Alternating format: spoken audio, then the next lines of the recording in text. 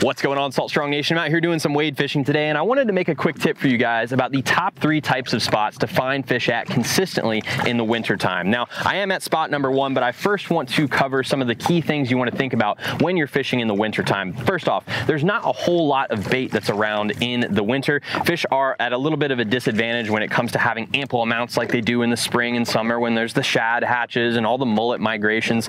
Now they're really having to put themselves in areas where they can consistently source food without having to expend a lot of energy, which brings me to my next point. These fish don't have a lot of energy in the cold winter months because they are cold-blooded again, and their metabolism goes down during the colder months. They don't have as much energy, they're not consuming as much. Those cold temperatures leave them a little bit stunned, so they're oftentimes more lethargic. That's why you see a lot of fish that aren't moving around too much in the winter. So it makes it really important for us to pick the right types of spots and know that these fish are gonna be holding in these areas so that we can really pick through them slowly because again, we really are gonna have to roll these lures right past these fish's face to make sure that they're gonna actually react to them uh, because they're not gonna be chasing things down like they do in the other seasons. Now, another big factor for us is warmth. Any kind of area that these fish can get to and have some warmth is gonna be really, really important. And again, proximity to deeper water, which is gonna allow them to have stable temperatures. So warmth and stable temperatures are two completely different things. A lot of times, the areas that are very warm are not going to be warm when it's really windy or a front comes through immediately. On an average day like the one I'm at, the shallow areas are going to be really warm,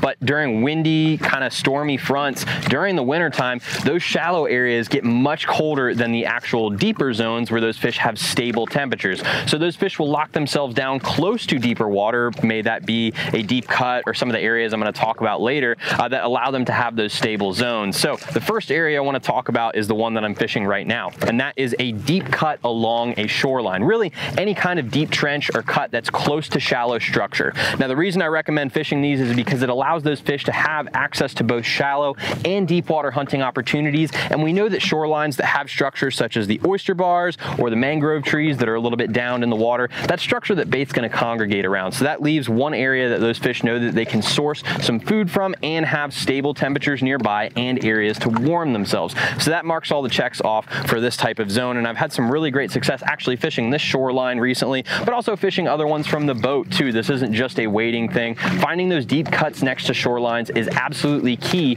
in finding a lot of fish in the wintertime. Now, not every region has these types of shorelines, especially if you're in the Carolinas, you're in Virginia, you're in Georgia, any of those areas of coastal marsh. A lot of times, these straight shorelines that are on the edges of flats aren't too common. You might find them on the edge of an open mud flat, but again, not super common. What's even more common and even more productive is to find those areas where a creek bends leading to a flat. Now, I've had great success when I was in the Carolinas fishing these types of bends, especially on the negative tides when fish get locked down in those deep holes because bends oftentimes are going to have areas of really high current and that's going to be moving a lot of bait through those areas. Most times the bend also has a point right at almost the what I call the armpit of that bend and it's going to allow those fish to have a point that they can hold on to, have a little bit of wind protection if they need it, uh, but also a deeper area because that bend is again in an area of high current. It's going to create a small deep hole uh, that's right pretty much in that pocket. So that leaves a lot of area for trout, redfish to kind of stack up in. And most times you can also pick up some flounder if you're jigging the bottom of that hole too. So that's an area, again, we've got a good source of food. We've got good wind protection, close to deeper water. Uh, those fish are going to be congregating in those zones if you're in a coastal marsh environment.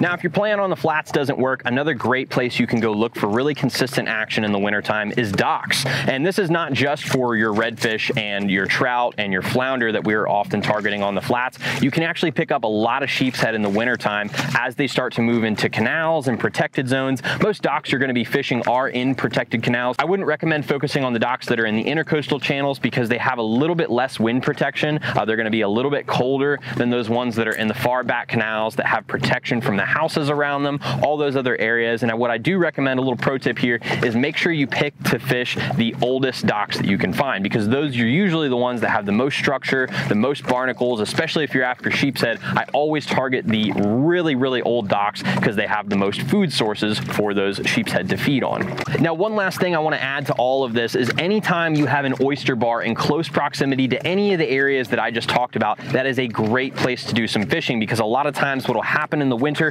when the tides are low, that sun's going to beat down on those really hard shells that are oftentimes of darker color and they're going to warm up and act almost like a heat radiator to those fish. They're going to be congregating around them. So they're gonna hang close to those areas, almost like space heaters, and the oysters do oftentimes provide really good cover for bait, and it's gonna allow those fish to have a good little source of food. And most times oysters do grow in areas with high current, so likely close by, there is some deeper water. So make sure that you're looking for oyster bars as well when you're picking these types of zones. Now, I really wanna reiterate that these are just my favorite types of spots to go target. There's a ton of different types of areas out there. These are just my top three, and I recommend you guys do some scouting on Google Maps to find your own really good hot spots to fish in the wintertime. And if you don't know how to do that, we have some really great courses in the Salt Strong Insider Club about finding spots. Our Finding Spots Mastery course is a great way to learn how to become a more efficient angler by picking spots, actually creating a good pre-trip plan based on the conditions around you. Most winter days are not gonna be the same. Some are really blistering cold, some have some slight warming trends in the afternoon, and there's different things you need to do to adjust to find those fish. So I really hope you guys enjoyed this tip and it's gonna get you onto some fish, but I definitely recommend if you still are unsure about how to pick the right spots in the wintertime,